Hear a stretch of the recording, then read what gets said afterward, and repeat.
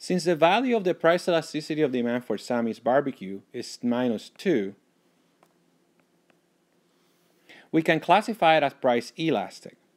As you know, when the absolute value of the price elasticity of demand is higher than 1, we say the good is price elastic.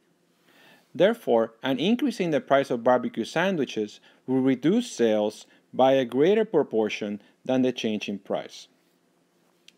So although Sammy will generate more revenue per sandwich with a higher price, he also loses too, too many customers, so his total revenue goes down. To see this in more detail, let's create a hypothetical example for this situation.